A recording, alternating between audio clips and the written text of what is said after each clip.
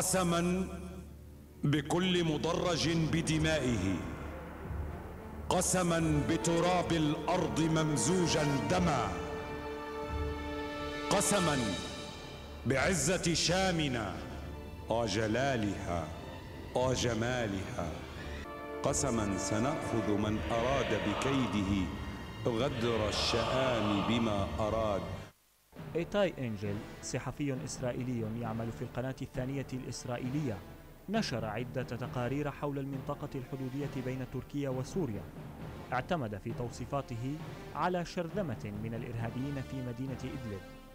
ومن جملة ما حاول إيتاي وإسرائيل تسويقه عبر أدواتها من عصابات الموت في سوريا أن المواطنين في إسرائيل وسوريا لا يحملون العداء لبعضهم البعض.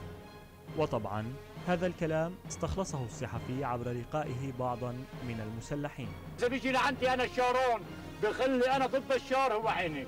لم يعد غريبا علينا هذا الصوت. فهذا الإرهابي الذي يدعو الكيان الصهيوني لقصف بلاده علنا يحمل السلاح يطالب بالعدوان الإسرائيلي ويقول سلمية.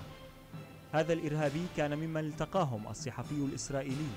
ونقل له محبته للكيان الصهيوني المحتل للأراضي العربية. هناك أساس للحوار السلمي بين سوريا وإسرائيل. هذا الكلام لم يأتي على لسان سوري حمل من جنسيته العربية قدرا يسيرا من بعض ما تغنى به العرب من المحيط إلى الخليج. بل نطقها صحفي إسرائيلي تسلل إلى داخل الأراضي السورية بجواز سفر مزور وبمساعدة من بعض المرتزقة التكفيريين وفي جديد إسرائيل رمز الأخلاق في العالم كما تصف نفسها وتعبيرا عن عنصريتها تجاه العرب والمسلمين.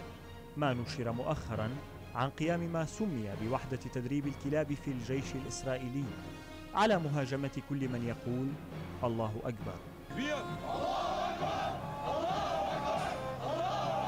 فويل لمن نطق اسم الله جل جلاله.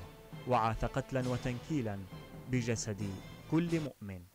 قسما بصادق وعدنا بطول الصبر أفرغه علينا الله أودع في ضمائرنا وأجرى في سواعدنا من سر أسماء له معنى العزيز المقتدر.